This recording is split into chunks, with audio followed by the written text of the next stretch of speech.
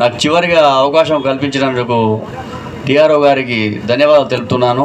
గ్రామస్తులు కూడా ఒక రెండు నిమిషాలు నా సందేశం కూడా వింటే నేను సంతోషపడతాను.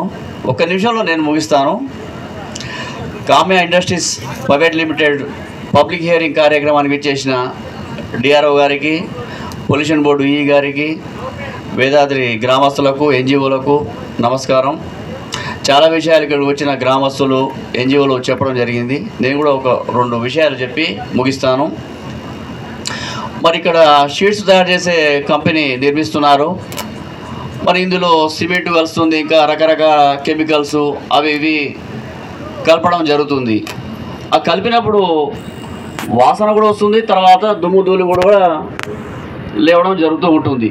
వాసన కూడా ఏంటంటే ఒక కిలోమీటర్ దూరం వరకు పోయే అవకాశం ఉందనుకుంటా.